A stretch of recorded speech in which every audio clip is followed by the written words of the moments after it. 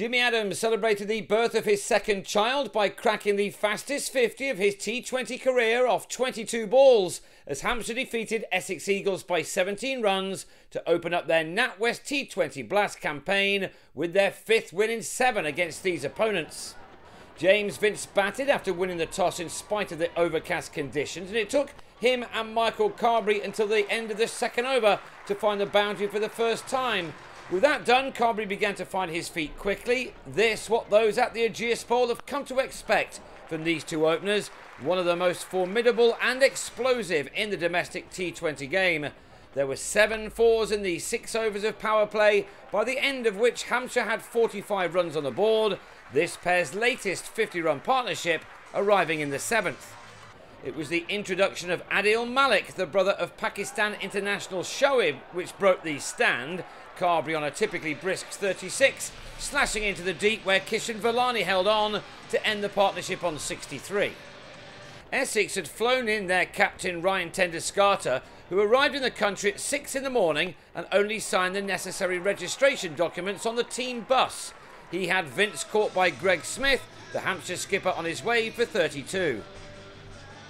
The home team had to wait until the 13th over for their first maximum. Adams the man to get it off Malik in an over that went for 11. Owais Shah then joined in, hitting this enormous six, one which could have put local flights at risk.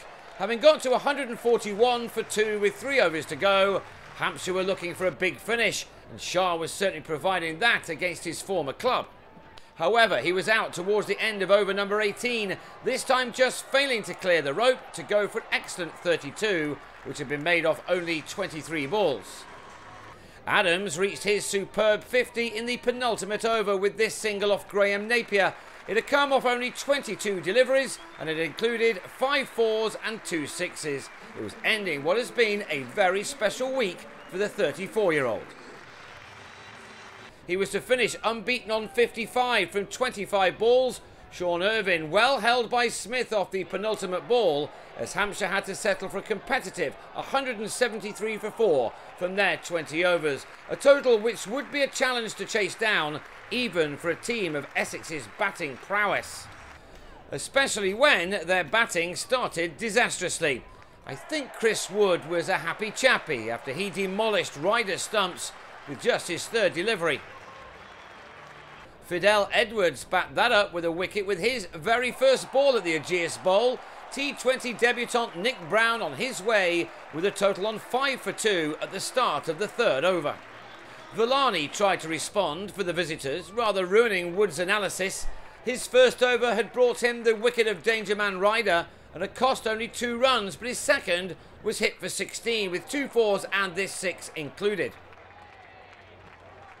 Smith then went after Danny Briggs, who was brought on inside the power play. The Eagles getting to the end of their first six overs with 42 runs on the board, but both openers back in the pavilion. Then on 21, Velani was another to be comprehensively bowled as Yasir Arafat celebrated his home debut with a wicket with his fourth delivery. Hampshire had a fourth by the time the halfway stage of the innings was reached. Smith now on his way for 30 as he was taken behind off his namesake Will after his decision to switch to around the wicket.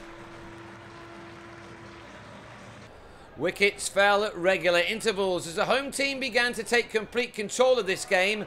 Substitute fielder Liam Dawson has one of the safest pairs of hands on the circuit, and so he was never going to miss this chance offered by James Foster, who was out for seven.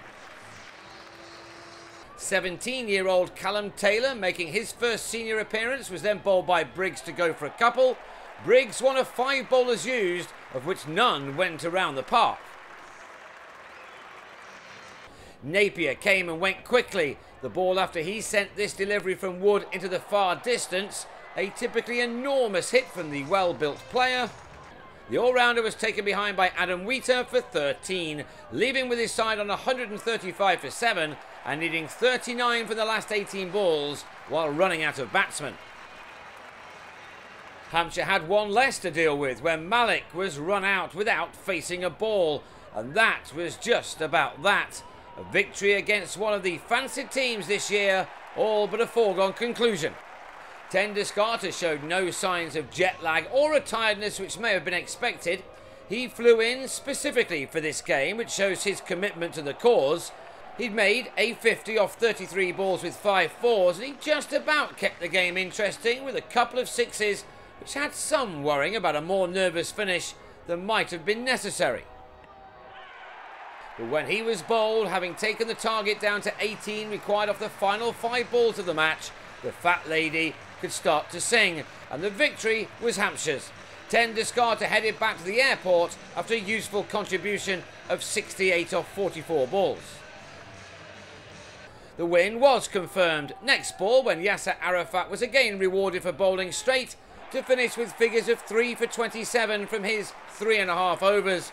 Hampshire could celebrate an excellent victory, one for which the margin was 17 runs. We could not have asked for a better start. It was a very professional all-round performance and next up are Kent back at the Ageas next Friday. They also started their campaign with a victory over Sussex. It should be another very entertaining night and we hope to see you there.